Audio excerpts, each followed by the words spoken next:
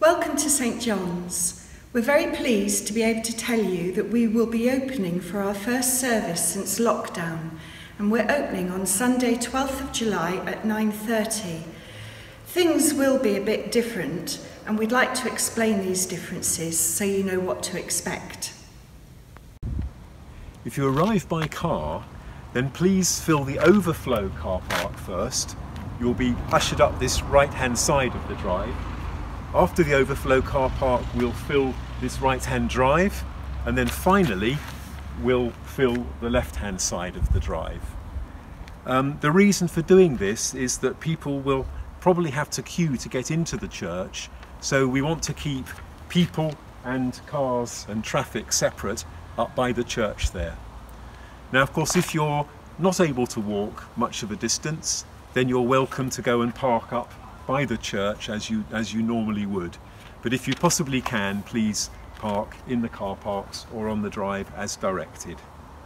And please don't arrive at the church before 10 past 9 because we have a lot to do in the church to get the building ready before the service can begin. So then please wait outside the church observing a two metre gap between people and you'll be met by a steward at the door who needs to take your name and your phone number. Uh, we've been asked to do this by the government and the Church of England as it's part of the NHS track and trace process. We'll keep these details for 21 days and then they will be destroyed securely. If, however, we're notified that someone who has attended a service has proved positive for COVID-19, then we are obliged to pass the list to NHS Track and Trace, who will then contact everybody who was at the service on the list, and as a result, you may be required to self-isolate for 14 days. When you go into the porch, please use the hand sanitizer. There is now a wall-mounted dispenser and it's automatic, so there's no need to touch it. There's no need to wear a face mask, but if you would be more comfortable doing that, please bring your own if you can. There should only be two people or a single larger household in the porch at any one time, which is why you may have to wait outside for a short time. Please wait in the porch until a steward is ready to show you to your seat.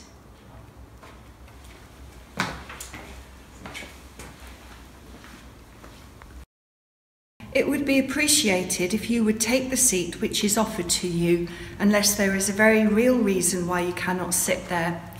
We have to leave two metres between individuals or families which means we have to allocate seating carefully if we are to fit in everyone who may wish to attend. Children will need to remain with their parents during the service and there is no Sunday school or creche. Parts of the service will be filmed for an online video, so it may be that a view from the back of the church is occasionally included. So if you prefer not to be included at all in the video, then please let the steward know and you can be seated off to one side. The service will be simple, it will be reflective, it will include readings, a sermon and prayers, but no communion. There may be some music, but no congregational singing, because singing, I'm afraid, is discouraged in the current guidance. There won't be any orders of service, nor hymn books, nor pew sheets. During the service, please remain in your seating area and don't move around the church as we need to maintain the two metre distancing at all times. There'll be a card reader at the back of the church should you wish to make a donation. Uh, there won't be any cash collection. At the end of the service, you may stay on for a short while for private prayer should you wish.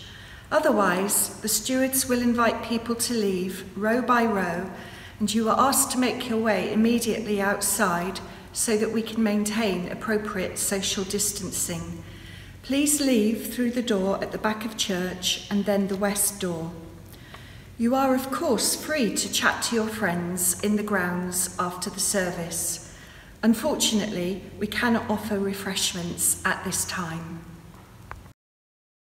We're expecting a relatively small congregation in the first few weeks, but there is a limit to the number of attendees that we can seat safely. We can only fit in about 30 individuals or small household groups at any one time. And please, of course, don't come if you're feeling at all unwell. Well, we appreciate that this will feel very different for everybody, but it's what we need to do to keep us all safe. And we hope you will be able to join us either this coming Sunday or in future Sundays, and we look forward to seeing you.